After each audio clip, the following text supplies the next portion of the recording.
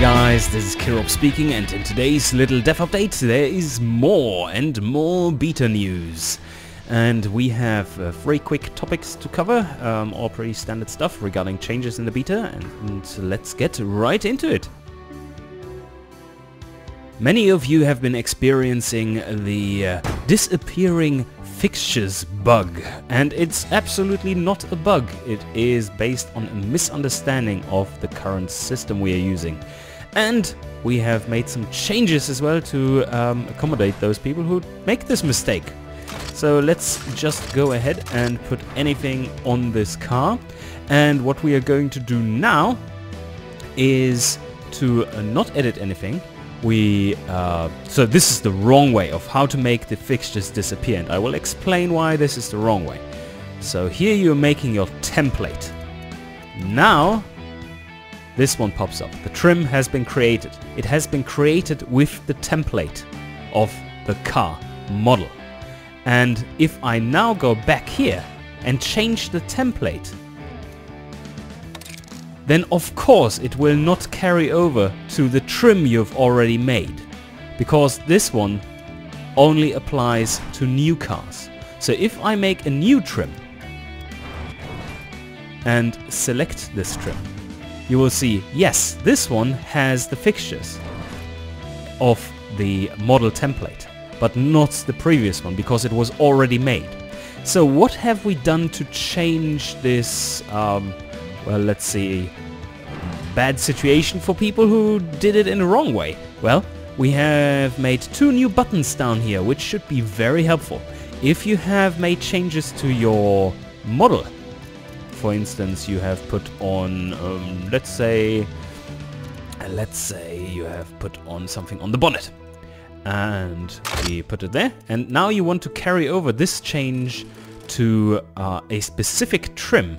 Then uh, Let's go here. This was the one which was naked. Then you now have the option to either um, get the template applied to your car, like this. And you see, yes, now it has this one on. And so yep, that is exactly the same thing.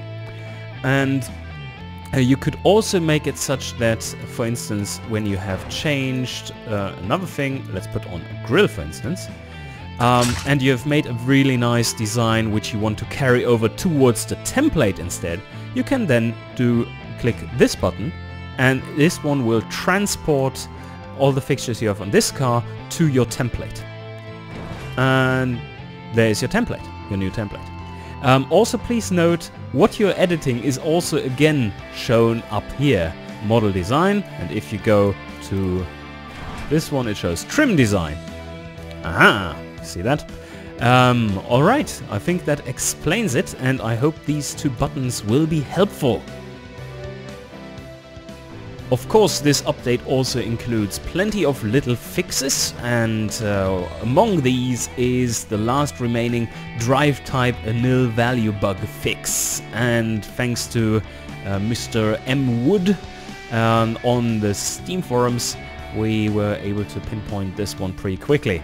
And yes, uh, please continue posting bug reports. These are very helpful for us to figure out the last few issues before the public release. Overall, I think the game already now in this phase of the open beta is much better regarding bugs and uh, other things broken than the original launch version was and even the public version is right now. So uh, yeah, we are on a, on a good road here. So, but first, um, before we end and wrap up, uh, topic number three, some changes. There are two specific changes I would like to mention here, and that's just quickly. We have brought back the sorting feature for um, the engine manager.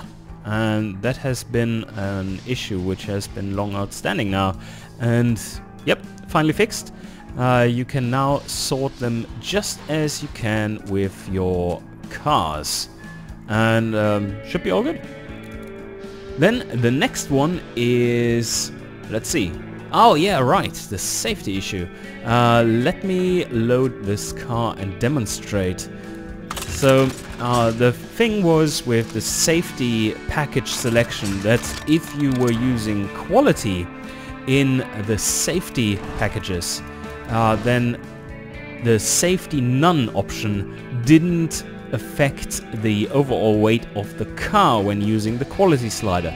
That has been fixed. Um, please note that while this is a safety package which only weighs 3.6 kilos and if you drop it in quality it will uh, go down to 2.7 kilos but the car changes a lot in weight and that is because it is the quality not only for the package but for the structural integrity like the, the doors, the crumple zones and everything which is affected by this.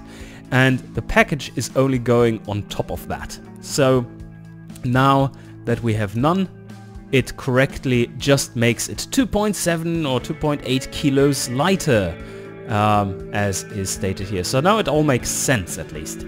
And uh, yeah, that's all for today. Um, hope you enjoy and try out the latest beta build please. And post all your bug reports in our forums. Cheers!